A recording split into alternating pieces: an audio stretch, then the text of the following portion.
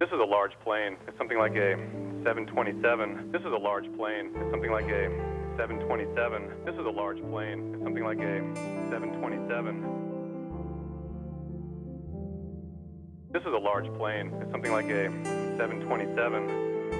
And it was banking, the only reason I kind of looked at it is because I thought it was rather low. Banking very hard.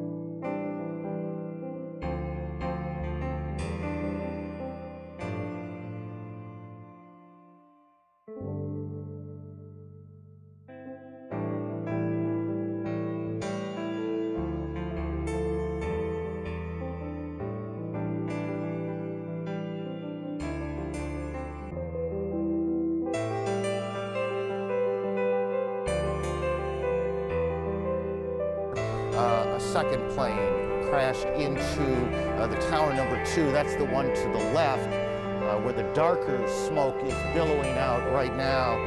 Um, we have reports, CNN has been told that one of the planes was an American Airlines 767